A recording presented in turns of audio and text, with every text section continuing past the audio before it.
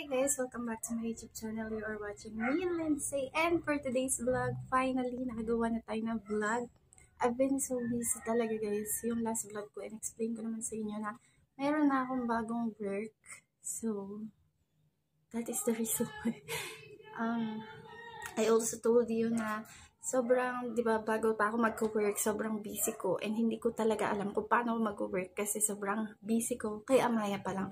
So ngayon, medyo, alam niyo na kung bakit di ako nakakapag-vlog. Hindi ko pa siya kayang eh, pagsabay-sabay. So ngayon, sumingit lang talaga ako kasi naglaba ako tapos pinahiram si Amaya sa kabil. So maya-maya, babalik na rin siya. Kaya mamadaliin natin to. Gusto ko lang gumawa ng vlog ng New Year's resolution. And of course, ayoko namang i-stop yung pag-vlog ko just because I'm working. So, kailangan natin mapagsabay yung pag-work, yung pag-aalaga kay Amaya, and yung pag-vlog. Kailangan natin gawin yun this year. So, yan. Umpisahan na natin siya. And, Happy New Year nga pala muna sa inyo guys. Happy 2022. Sana malusog kayo nung pumasok yung New Year. At sana hindi kayo nagkasakit sa first week ng January. Kasi ako, nagkasakit ako. Pero ano lang naman, trangkaso. Alam niyo yun, yung mga sakit na nakukuha mo dahil sa kakalamon mo ng matatamis, yung fruit salad, ganyan, yung spaghetti, kung ano-ano. Siyempre, yung lalamunan mo, di ba, sumasakit. Tapos, diretso sipon na, diretso ubo na. So, yun. Parang feeling ko naman lahat tayo nagkasakit after New Year dahil sa mga kinakain lang din naman natin. Siguro naman hindi naman virus, di ba? Pero as of the moment, magaling na ako and marami rin ako naging gala ng New Year kung nakikita nyo sa Facebook o hindi pa ako nag-upload sa YouTube kasi hindi ko pa siya na-edit. Sana abangan pa rin kahit late ko siyang ma-edit kasi wala talaga akong time ngayon guys as in wala.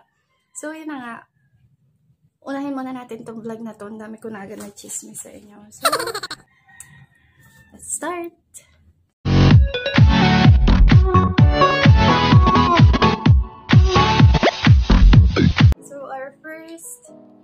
Hassle pa. Nakatayo. Naglilikot-likot ako. Sorry guys, sobrang likot kong ganyan. Kasi alam niyo naman, teacher ako. So, ganyan talaga mag-explain. so, yung una nating question is, or question ba to?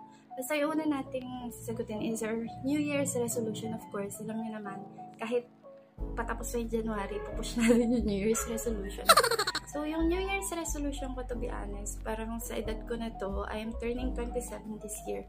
Na-realize ko na sobrang sama ko palang. Hindi naman sobrang sama, pero um, medyo mabait naman ako, kaya lang parang may masamang side pa rin ako, and yun yung gusto kong baguhin. Gusto ko kasing maging good person inside and out. Alam niyo yan? Kasi madalas tayo, mabait tayo sa panlabas. Like, literally, kapag lumabas ka, kahit nandiyan yung kaaway mo, ngingitian mo, babatiin mo, ganyan, kakausapin mo, di ba? Pero asar ka talaga sa kanya. So, gusto ko yung feeling na wala akong masabing masama sa ibang tao. Kasi parang ngayong taon talaga, or last 2021, sobrang naging masama yung ugali ko na parang kahit na ano, parang asar na asar ako sa tao na napaka-negative ng vibes ko doon sa tao. Kumaga parang hindi ko na siya binibigyan ng chance na maging mabait sa akin. Lagi ko siyang lagi akong nambabara, ganyan. Hindi siya sa isang tao lang or whatever. Pero parang sa paligid ko, kahit kay Elsid, parang ang initin ng ulo ko. Tapos parang meron akong nasa isip ko. Alam niyo yun, yung parang hindi nyo siya sinasabi pag galit kayo. Pero nasa isip nyo siya, nagilt na galit kayo. Yun, yun yung gusto ko talagang mabago. Kasi ayoko nung parang napapakita kong okay naman ako sa panlabas. Tapos sa isip, parang galit na galit ako. Tapos sa loob ko talagang galit na galit ako. Ganyan. Gusto ko, kung hindi ako galit sa panlabas, hindi rin ako galit sa panloob.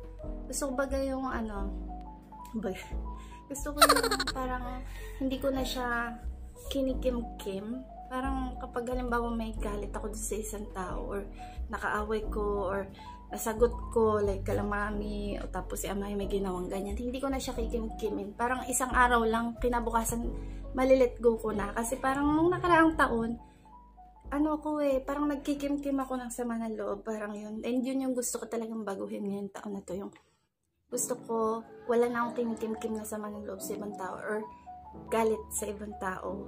Or, yun.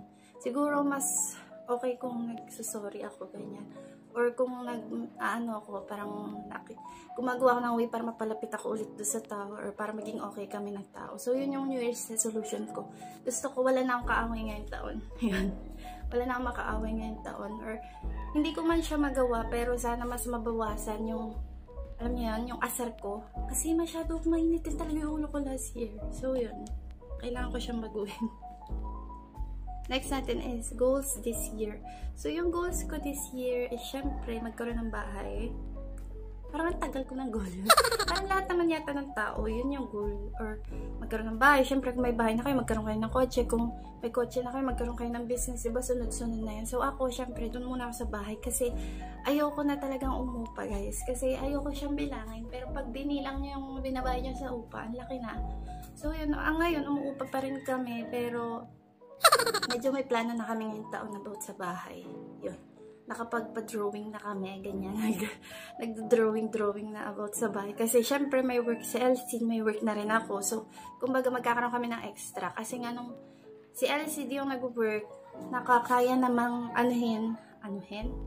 Nakakayang saluhin ng work niya, yung mga expenses namin sa bahay. So, ibig sabihin, yung sasahurin ko ngayon is um, pang bigay-bigay sa parents. Tapos, bukod doon, pwede rin sa bahay mapunta. So, yun. Yun ang goal talaga namin this year. Sana talaga umpisa na yung bahay. Kasi, medyo ang plano talaga namin sa bahay is tatlong floor siya. Pero, kahit yung isang floor lang ngayong taon yung maumpisahan, okay na sa akin. Para at least makalipat na kami and wala kaming expense sa upa. Next, what I became last year. So, yun parang nabanggit ko na rin siya sa una.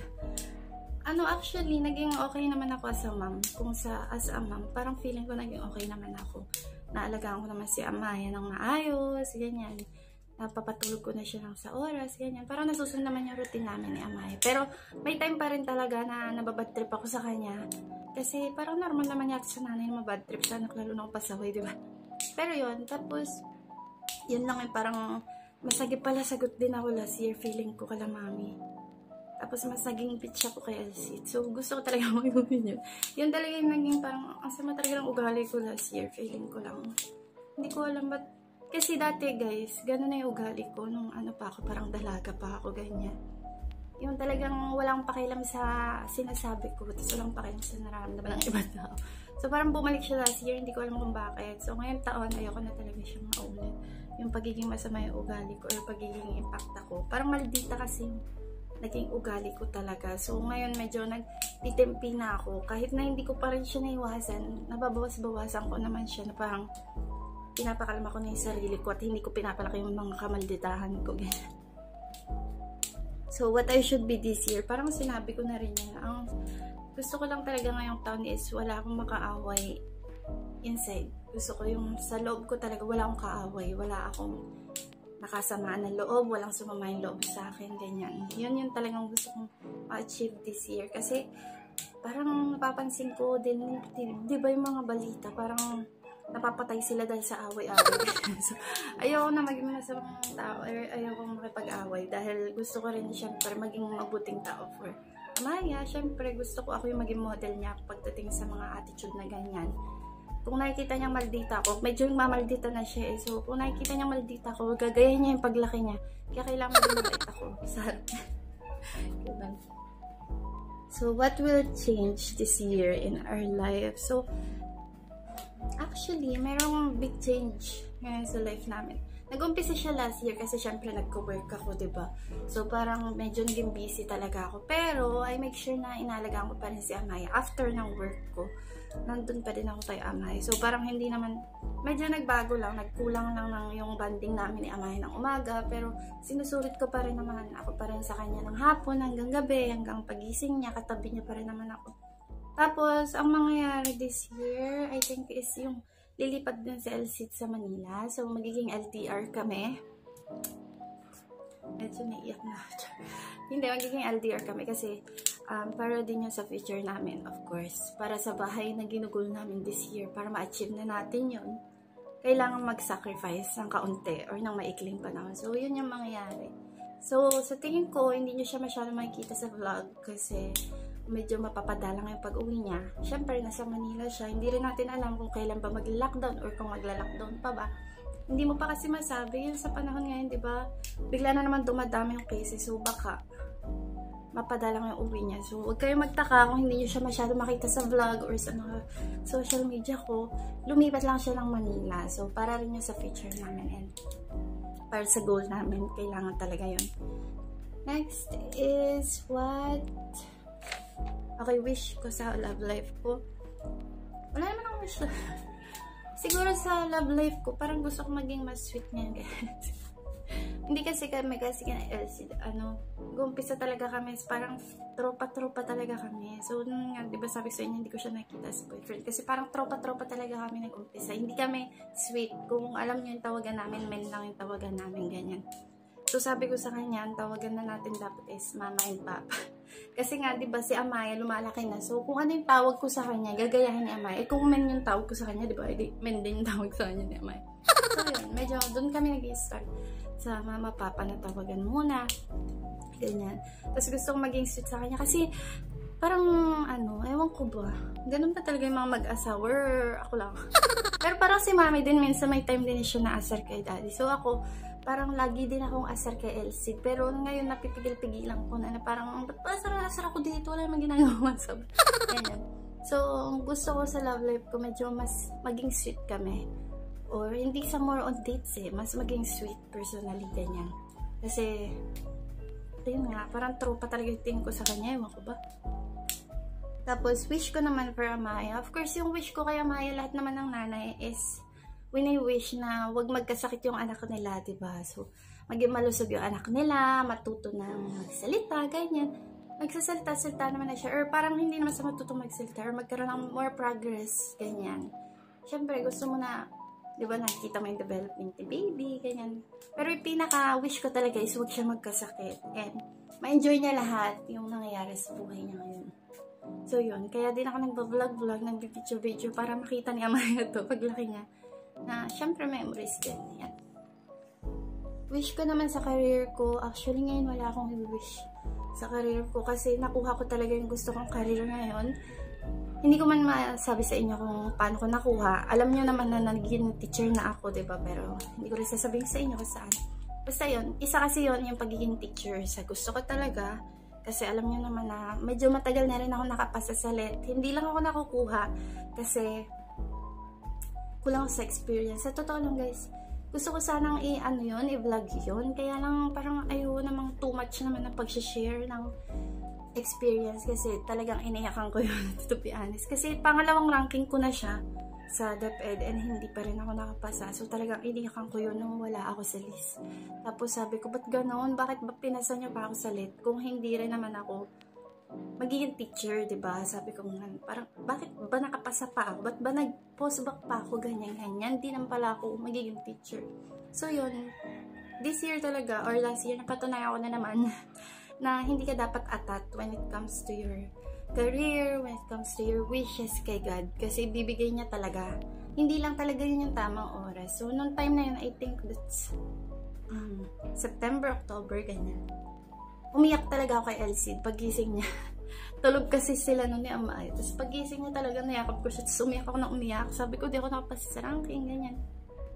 Sabi niya, okay lang yan, ganyan. Tapos ayun nga, nitong December, ayun, natawagan ako as, ano nga, teacher din. So, yun. Hindi man ako nakapasa sa ranking, teacher naman ako ngayon. So, gusto ko talaga yung nangyari sa career ko ngayon. And meron pang isa na hindi ko naman pwedeng ikwento sa inyo, pero masaya din ako dun sa nangyari na yun. So, ang ganda talaga ng career ko ngayon. As in, guys, parang, ewan ko, hindi naman sa naaano ko na hindi na ako stay at home talaga na full time, pero ang sarap lang na napagsasabi mo yung work and yung pag-aalaga mo kay Amaya. Yan. So, yun talaga yung gustong-gusto ko ngayong taon na to. yun nangyari sa buhay ko. Last is as a mom. So, yung this year, yung goal ko this year as a mom. Ano ba? Feeling ko, mas gusto ko talaga na mabawasan yung pagiging hindi, actually, nabawasan na siya guys, yung pagiging high blood ko kay Amaya. Madalang na akong ma-high blood sa kanya. Na-high blood na lang talaga ako pag yung tipong binibihisan mo siya. Yun lang, lagi kami nag-away doon, yung bibihisan mo siya, tapos, ano, ang likot-likot niya, as in, imbis na 5 minutes lang kayo magbihisan, umaabot ng 20 minutes, 30 minutes, dahil, bawat lagay mo, bawat punas mo ng wipes, kayo, lalaro sa kung saan, tapos, higa na naman, lalagyan mo diaper, tatayo na naman, di ba? Yun lang, doon lang ako na high blood ngayon. Tapos, wala na, yun. ano na ako ngayon, medyo kalmado na ako as a mama, ganyan. Pero, meron pa rin talagang time na nabibwisit ako. Siyempre, tao lang, di ba, nabibwisit din. Pero, ayun nga, ang goal ko talaga this year as a mama is yung mas maalagaan ko siya and mas matutukan ko talaga siya. Yung talagang, kung ano yung gusto niyang banding namin, yun yung kaya kong ibigay sa kanya. Yun. Mabigay ko sa kanya time ko as a mom. Kahit na nag-work na ako.